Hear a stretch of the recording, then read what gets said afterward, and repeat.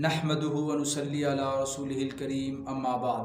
معزز سامعین، میں ہوں حافظ محمد تنویر خان اور آج میں حاضر ہوا ہوں آپ کی خدمت میں ایک بہت بڑی خوشخبری سنانے کے لیے۔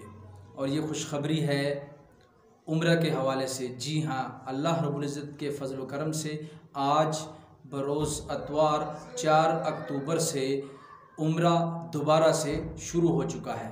اور اللہ کے فضل و کرم سے آج کئی خوش نصیب جو ہے وہ عمرہ کریں گے۔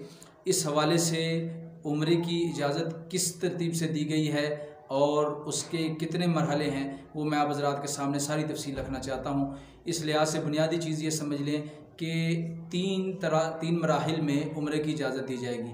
پہلا مرحلہ جو ہے وہ آج سے شروع ہو چکا ہے اور پہلے مرحلے کے تحت چار اکتوبر بروز اتوار سے آغاز ہوگا عمرے کا اور اس میں یہ ترتیب ہوگی کہ روزانہ چھ ہزار افراد جو ہے وہ عمرہ ادا کر سکیں گے۔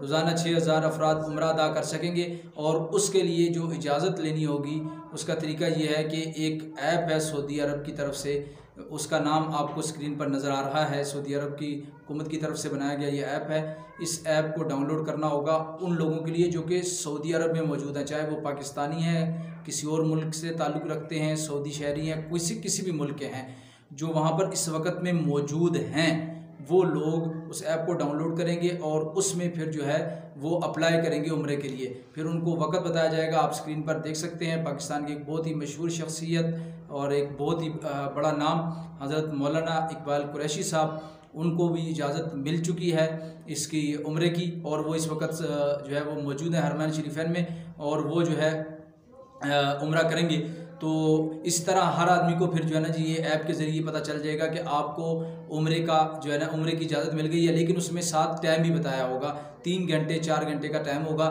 اور اس وقت سے لے کر اس وقت تک آپ عمرہ کر سکتے ہیں۔ پہلی ترتیب تو یہ ہے۔ دوسرا مرحلہ شروع ہوگا اٹھارہ اکتوبر سے، اور اس کے تحت پندرہ ہزار افراد یومیہ، پندرہ ہزار افراد یومیہ بنیاد پر عمرہ کر سکیں گے، اور چالیس ہزار افراد ایک دن کی بنیاد پر یعنی یومیہ نماز ادا کر سکیں گے حرمین شریفین میں۔ پندرہ ہزار افراد کو یومیہ جو ہے وہ عمرہ کی اجازت ہوگی اور چالیس ہزار افراد جو ہے وہ حرمین شریفین کی زیارت کر سکیں گے۔ اور مسجد نبی کی ترتیب یہ ہے کہ مسجد نبی میں جتنے نمازیوں کی گنجائش ہوگی، اس کے پچہتر فیصد نمازیوں کو اجازت ہوگی۔ یعنی مثال کے طور پر اگر ایک لاکھ نمازی اس مسجد میں آ سکتے ہیں، مسجد نبی میں، تو پچہتر ہزار لوگ اس میں نماز ادا کر سکیں گے۔ پچہتر ہزار سے زیادہ لوگوں کو نماز کی اجازت نہیں ہوگی۔ ٹھیک ہے جی؟ یہ بھی بڑی خوشائن بات ہے۔ تیسرے نمبر پر اب ہم بات کر لیتے ہیں کہ پاکستان اور دوسرے ملکوں کو جو ہے کب عمرے کی اجازت ہے۔ کیونکہ یہ جو دو مرحلے ہیں، یہ ہیں ان لوگوں کے لیے جو سعودی عرب میں موجود ہیں، چاہے وہ غیر ملکی ہیں یا سعودی شہری ہیں۔ اب پاکستان اور دوسرے ملک والوں کے لیے اجازت شروع ہوگی جی یکم نومبر سے۔ یعنی اس میں پاکستان اور دوسرے ممالک کے جو لوگ ہوں گے وہ بھی عمرے کے لیے جا سکیں گے اور نہ صرف عمرہ بلکہ نمازیں اور زیارات ان تمام چیزوں کی اجازت دے دی جائے گی۔ اور اس میں یومیہ بیس سے اکیس ہزار افراد جو ہے وہ عمرہ ادا کر سکیں گے اور چالیس ہزار افراد جو ہے وہ احتیاطی تدابیر کے ساتھ مسجد میں ان کو آنے کی اجازت ہوگی مسجد الحرام میں اور وہ آ کر وہاں نماز ادا کر سکیں گے۔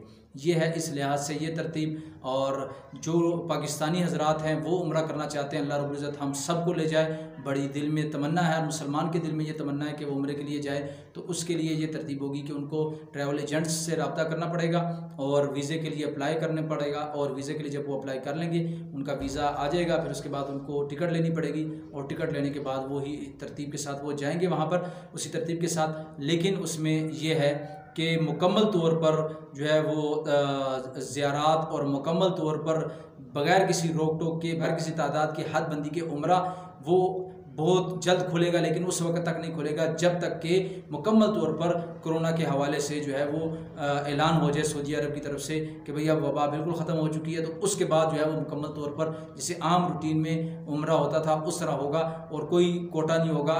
کھلے طور پر جتنے مرضی لوگ جائیں وہ عمرہ کر سکیں گے۔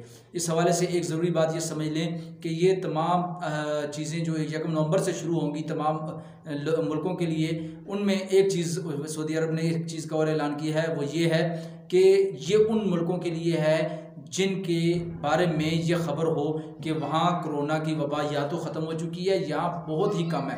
اگر کسی ملک میں اب بھی کرونا کے بارے میں تصدیق ہو کہ بھئی یہاں کرونا موجود ہے اور وہاں پر یہ پریشانی موجود ہے تو اس لحاظ سے یہ بات یاد رکھیں کہ ان اس ملک کے باسیوں کو سعودی عرب اجازت نہیں دے گا عمرہ کرنے کی۔ اللہ رب العزت سے دعا ہے، اللہ ہم سب کو اپنے مبارک گھر کی زیارت بار بار نصیب فرمائے۔ آپ سے گزارش یہ ہے کہ اگر آپ کو یہ اس ویڈیو کی سمجھ آ گئی ہو تو یہ جو معلوماتی ویڈیو ہے یہ اپنے بھائیوں تک، دوستوں تک ضرور پہنچائیے گا اور ہمارے چینل کو ضرور سبسکرائب کیجیے گا۔ انشاءاللہ آپ کو اس پر بہت ہی مفید اور معلوماتی ویڈیوز ملتی رہیں گی۔ اگلی ویڈیو میں آپ سے ملاقات ہوگی۔ تب تک کے لیے اللہ حافظ۔